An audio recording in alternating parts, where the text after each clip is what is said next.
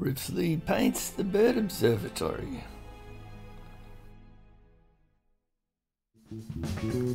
Welcome to Riffsley Trickfinger. Well, welcome back to Painting with Riffsley. I'm painting uh, this beautiful aqua sea and pink shoreline. It's really quite surreal. But it looks like that. If you haven't been to Broome, like myself, never been there, very beautiful place, worth going, having a look at it.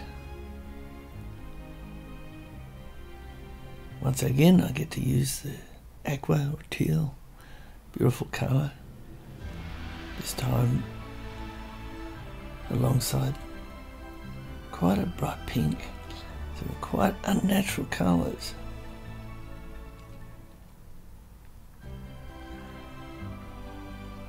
I tried to tone them down by surrounding it with the desert ochre.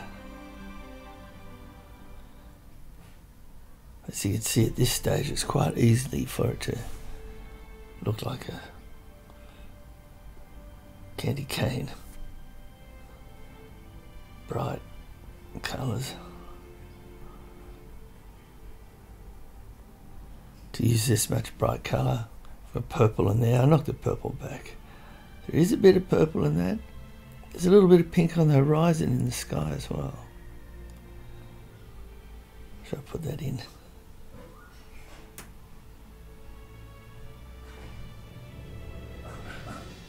That sky was the wrong colour. It's actually quite a bright blue. So I changed the colour.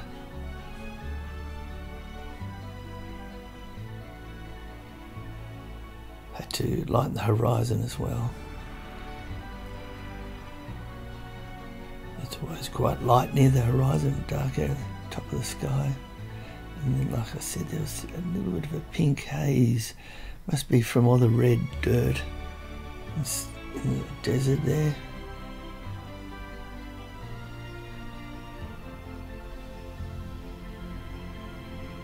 Red oxide.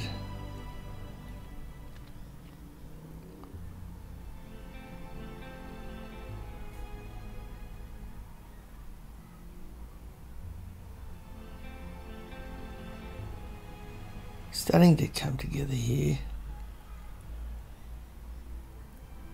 Adding some leaves, darken the tone. The camera focuses on me. Doesn't matter what I do, it tends to go a bit out of focus.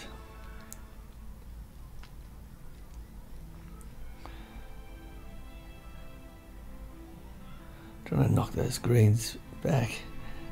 There is some scrub scrubby plants there, some green. Much the same tone as the sand and the dirt around there.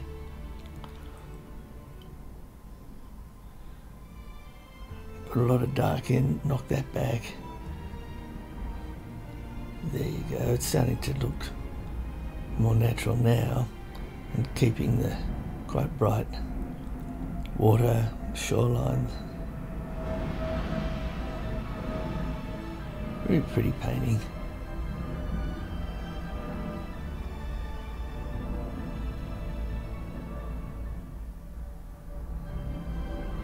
So there's no birds, no birds to be seen.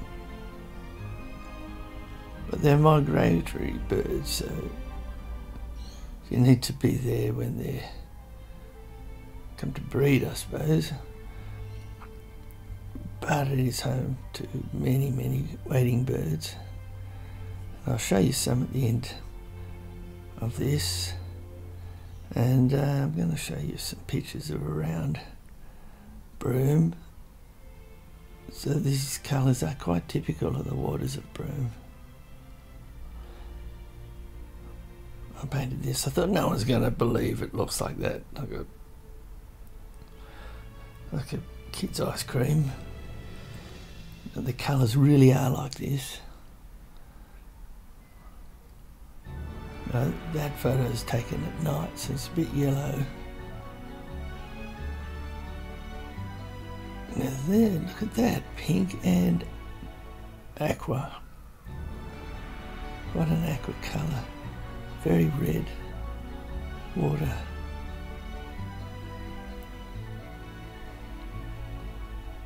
Unbelievable. It really looks like that. And that red earth. And the birds.